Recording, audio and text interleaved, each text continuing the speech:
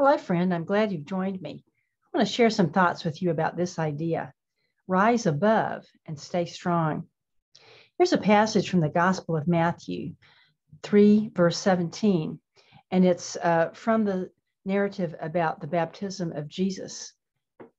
And a voice came from heaven and said, This is my Son, the beloved, with whom I am well pleased. And we know that God says that about us as well as about Jesus. And here is a line from Hafiz, who was a 14th century Persian mystic and poet.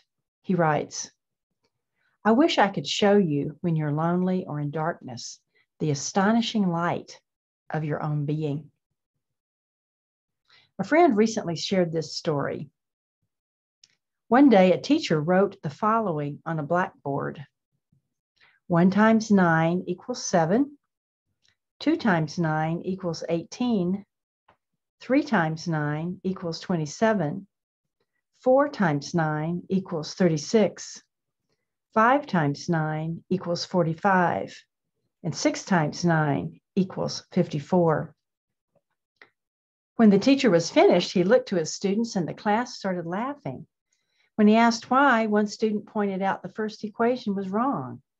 And the teacher responded by saying, I wrote that first one wrong to show you something very important. This is how the world will treat you. You can see I wrote five other correct answers, but none of you gave me recognition for that. You all laughed and criticized me for the one wrong thing I did. The world will not always appreciate the good that you do, but it will always put you down for that one mistake you make.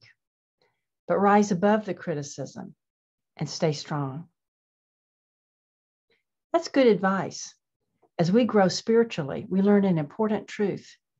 God never criticizes nor condemns us. God sees us as we are, full of light and intelligence, radiant with love, and always walking toward higher awareness.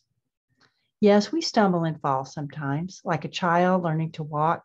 These are natural opportunities to learn, rise above, get stronger, not occasions for self berating.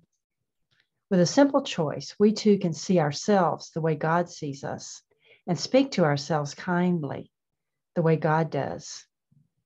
We can't control what other people say about us or how they act toward us, but we do have an immense power the power to decide what we will say to and about ourselves and how we will act toward ourselves. When we determine to get a view of ourselves from God, we rise above anything that the world slings our way and we grow strong. God bless you in the love and the light of the risen Christ.